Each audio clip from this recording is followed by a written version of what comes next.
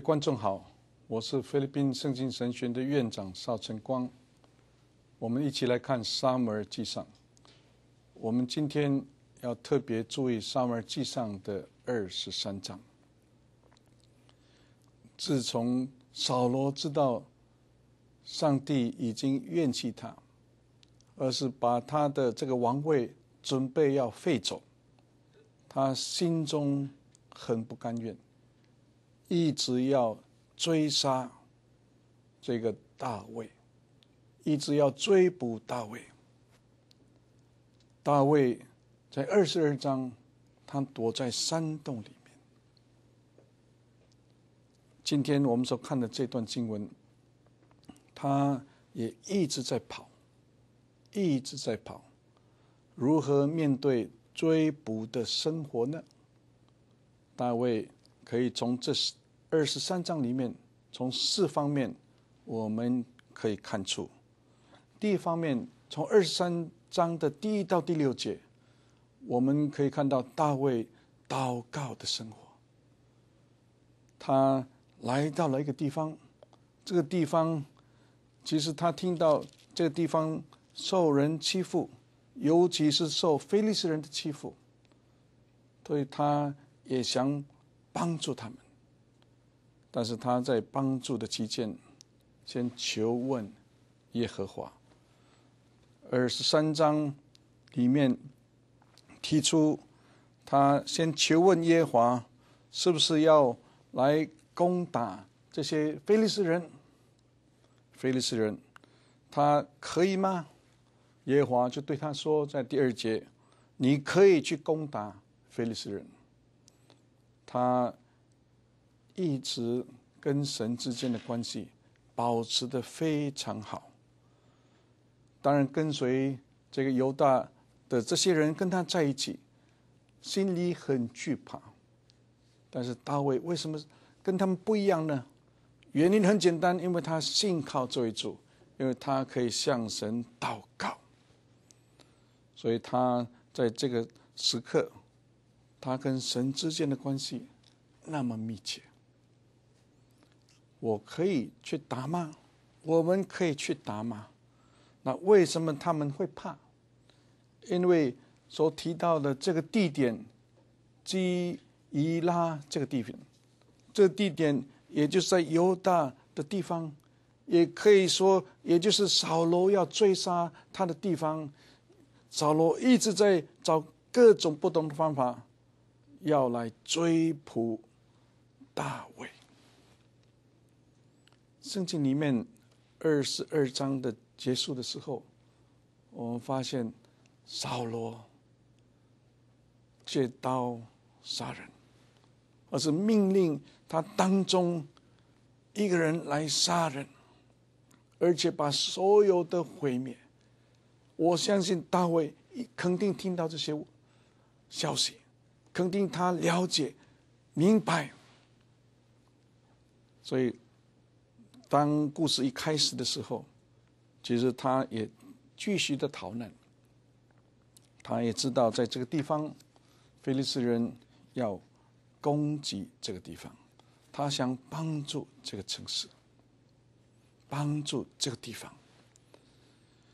但是还没有帮助之前，他向神祷告，向神祷告，他求告上帝。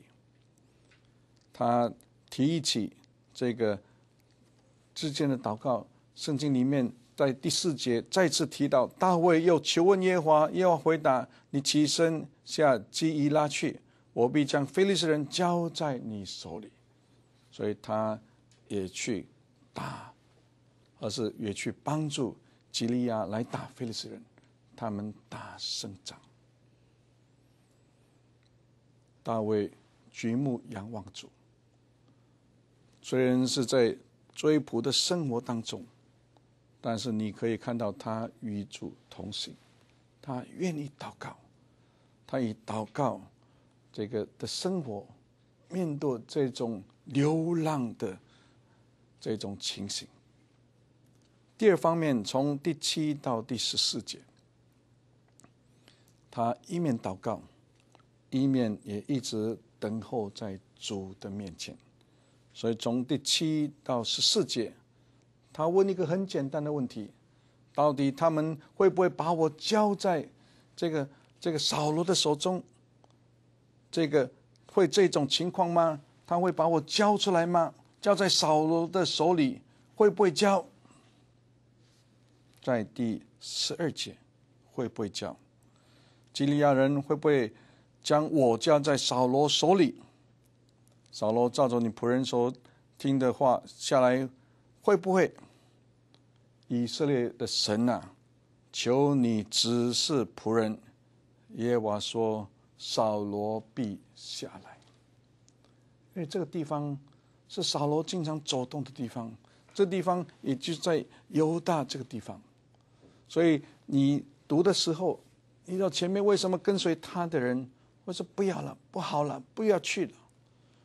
但是大卫最可爱的地方就在这里，他一方面有祷告的生活，一方面你可以看到他一直求问上帝，求上帝指示他，指示他。他当然是求告上帝，当然上帝指示他。虽然扫罗也来到他们当中。但是在这个故事里面有一句话值得我们深思，因为这句话里面含有一个很重要的一个观点，就是上帝的保护。在十四节里面，大卫住在旷野山寨里，藏在西弗旷野的山地。扫罗天天寻索大卫，上帝却不将大卫交在他手里。上帝。不把大卫交在扫罗的手里。是的，这些人可能会帮助扫罗，但是上帝不允许，上帝不允许。这是圣经里面特别提出来的，上帝的照顾，上帝的眷顾，上帝的保守，上帝的保护，上帝的保护。上帝保护大卫，多好的信息！诗篇里面也经常，也就是提到这方面的情况。有的时候是大大卫错了，比如诗篇三十四篇是前面他以为他可以跑去菲利斯人当中，跑去找押解，跑去到那个地方得到一些保护。但是突然间，有些妇女唱出这些歌，有些臣仆也明记得这首歌：扫罗杀死千千，大卫杀死万万。他后来就装傻，也写了诗篇三十四篇。今天我们所看的二十三章，其实他不需要装装傻，是上帝真的没有把他交出来。是的，这个大卫面对这种追捕的生活，实在不安定，实在不安定。因为圣经里面就很清楚看到扫罗一直在追他，一直在追他，但是神却不没有把他交在这个扫罗的手里。面对追捕的生活。除了祷告的生活，除了垂听上帝的指示，第三方面在十五到十八节、十六节这么说：扫罗的儿子约拿丹起身，往树林去见大卫，使他依靠上帝得以坚固。约拿丹起身，使他依靠上帝得以坚固，对他说。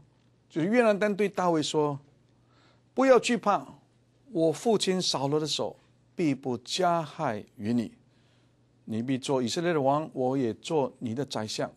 这是我父亲扫罗知道了，他的儿子约拿丹透露一个消息：我父亲知道了，我父亲这个知道你做王，但是最重要的不在下面的十七节。”最重要的是前面的这十六节，这约拿丹还鼓励他，还这个激励他要依靠主。你依靠他，你必得以坚固。依靠主，得以坚固。从谁得来的这种的鼓励呢？从他的好友，从他的密友得到这种的鼓励。十五五节到十八节，你还记得约拿丹那种单纯的信心？他曾经说过：“耶和华是人得胜，不在乎人多人少。”现在他鼓励。大卫说：“上帝必帮助你，你依靠他，你就得以坚固。”弟兄姐妹，各位观众，我们必须要有一些属灵的同伴，一些属灵跟我们喷天路的同伴。这些同伴呢，乐意帮助我们。这些同伴，这个可以鼓励我们更加爱主。有时候可能是我们鼓励他。有时候是他鼓励我们。沙摩尔记上的故事，我们大家应该很熟悉。这个约拿丹其实也很爱主，约拿丹这个很喜爱大卫。其实他们之间的关系是很单纯。今天可能有些人会误解约拿丹，以为约拿丹跟大卫的关系可能是比较特殊。而是用今天我们可能可以想象的这一种超出男人跟男人之间的关系，绝对没有，绝对没有。虽然圣经用这种深爱，用这个约拿丹乐意让这个位置，你可以看到他跟上帝之间的关系那么密切，不会随随便便的，绝对不是那种同性恋的那一种的。这个这种的友情绝对不是，不，反而我们倒要问一个问题：男人是不是可以有男人的朋友？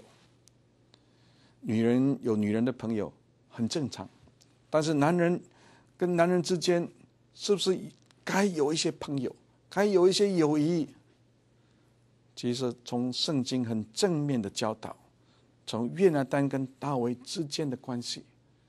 圣经其实上面记上用一章特别提出他们之间的友情，他们之间的关系。约拿丹与大卫也曾经立下盟约，要彼此的照顾。但是更重要的是属灵这方面的关系。约拿丹鼓励他要依靠主，就得以坚固。不要惧怕，不要惧怕，是一个鼓励的话。不要惧怕，经常出现在圣经里面。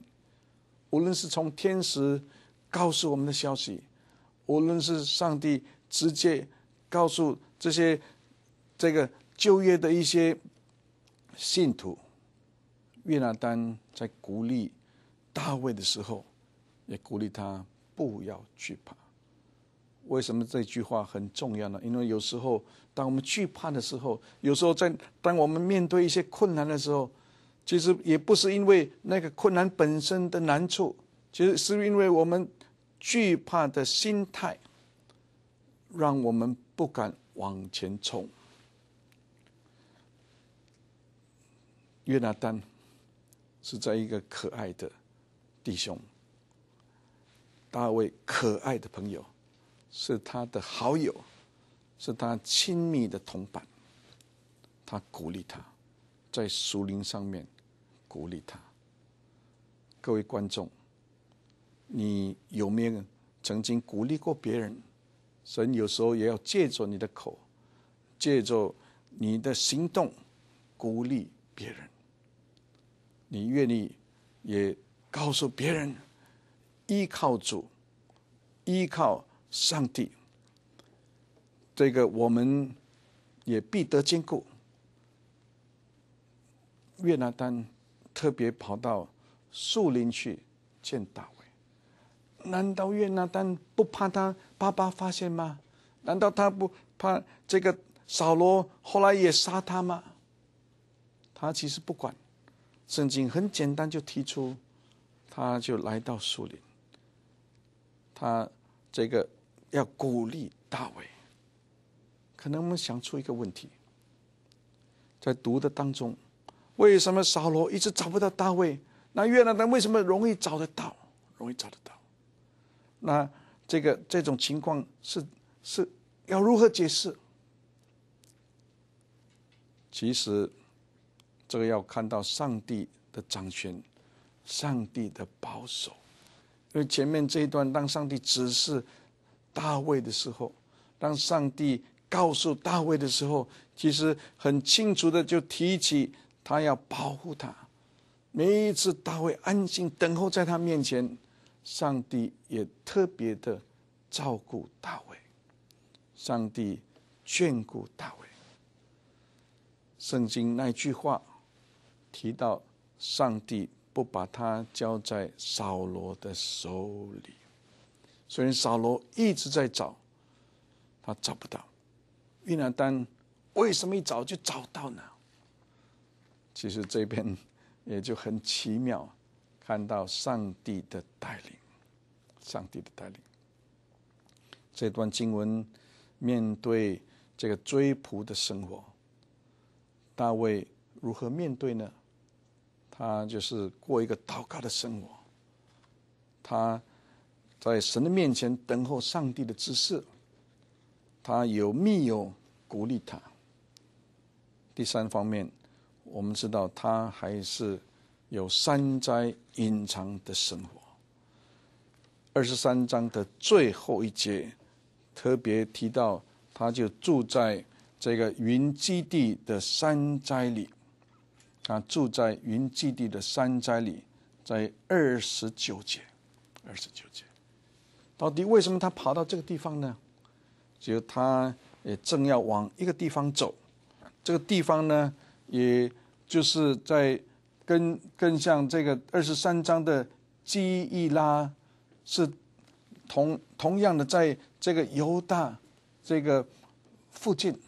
也属于这个扫罗，这个在巡回的地方，他跑到这个地方，这个当他跑到哪里的当中，当他已经跟越南丹立约，他也就往前走，跑到这个基比亚，这个啊，到了西弗人的当中，啊，西弗这个地方，西弗人。这里面有一句话，就是第十啊十九节，十九节，他特别跑去告诉扫罗说：“啊，大卫不是在我们那里的树林里、山寨中、旷野边的地方。”这个这西弗人呢，赶紧报道给给扫罗，给扫罗。啊，这个地方。跟这个基基拉伊的这个地方，基伊拉这个地方是几乎就是属于犹大犹大，但是西弗人呢就把这个报道出来。诗篇里面的五十四篇，其实就也就用大卫的经历写出一篇的诗篇。四篇五十四篇，就是等于这些西弗人，当他已经报告扫罗的时候，他也就写出这篇诗篇。他其实也就在山寨里面躲来躲去，躲来躲去。但是有人打小报告，有人特别告诉扫罗，扫罗还祝福他，特别告诉他们：愿上帝赐福给你们，因你们允许我。扫罗的心。实在非常的狭窄，他喜欢听这些小人的话，啊，喜欢这个追捕大卫，所以有人告诉他这个秘密，他就马上想来这个来追杀、追捕大卫，追捕大卫。当你把诗篇五十四篇把它连接，而且一起读的当中，你可以看到大卫的灵命。有时候上帝允许有一些困难存在，让我们灵里面，让我们属灵当中，可以更加仰望他。所以在诗篇五十四篇里面，其实他很简单的向神祈求，向神呼吁，求神帮助他。但是他有一种的信念，就是上帝必帮助他。啊，他也用称赞这个做一个回应，要称赞感谢我们的主。这个隐基地的山灾是二十三章最后一节所记载，但是这里无形中就特别提出大会如何过这种生活，他隐藏在那个地方，因为上帝。保护他，他可以在山寨里面生活，因为他知道有一位上帝会保护他。各位观众，你相信上帝会保护我们？五十四章的诗篇五十四篇的第三节这么说：因为外人起来攻击我，强暴人说我的命，他们眼中没有上帝，他们把这些事情。转告扫罗，真的很可怕，真的不应该，不应该。但是大卫，因为他可以等候在上帝的面前，他可以向上帝呼吁。弟兄姐妹，各位观众，有时候我们面对一种难处，说不出的难过，说不出的困难。但是我们应该眼睛注目仰望他。你可以看到，这个在这种逃难的生活当中，后面有扫罗在追捕，有扫罗要把他大卫抓起来。大卫还可以去帮助别人，替这个呃人来大战。但是最主要是他每做一件事的当中。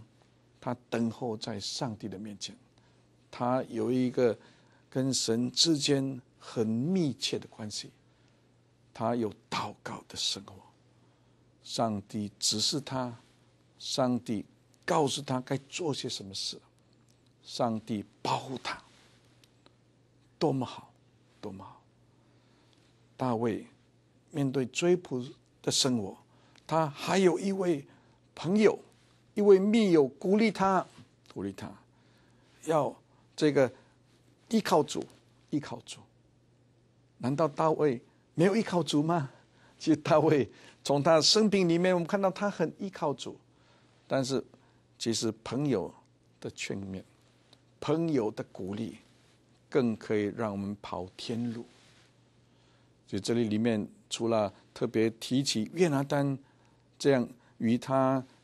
建盟，而是约拿丹这样鼓励他。更重要的，其实是提示我们，我们也应该有一些属灵的同伴、属灵的朋友，可以一起来爱主，一起来侍奉我们的主。约拿丹也成为大卫的好友，成为他这个生命当中一个鼓励者。约拿丹真是爱主，真是鼓励大卫。这个西弗人所做的这件事，我们很难明白。但是有时候，有同样类似的情况也摆在我们前面。可能有一些西服人也会把一些我们的秘密。一些我们困难的地方，告诉不该告诉的人。但是我们要回到主的面前，你可以看到大卫面对这一种情况，他还是来到主的面前，他相信主会帮助他，主会保守他，主会。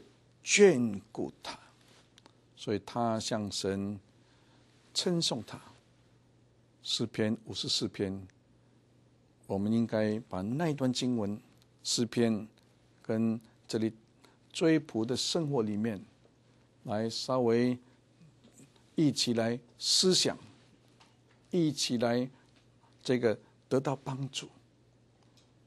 大卫在追捕的生活当中，其实是一个非常好的见证，可以帮助我们，可以鼓励我们。你看到大卫那一颗的心心是那么真实，约拿丹提出的这一种的鼓励的话，也其实是成为大卫的帮助。约拿丹说要依靠神。我们才得以坚固，要依靠神，我们才可以得到坚固。你愿意依靠上帝吗？我们一起读经的时候，其实这些话也会鼓励我们，这些话也应该成为我们的帮助，这些话也应该可以兼顾我们的信心。我们要依靠主，就得以建立。我们要依靠他，我们就可以得到帮助。我们也可以像大卫在四篇五十四篇，也可以称颂我们的主。愿上帝祝福各位听众。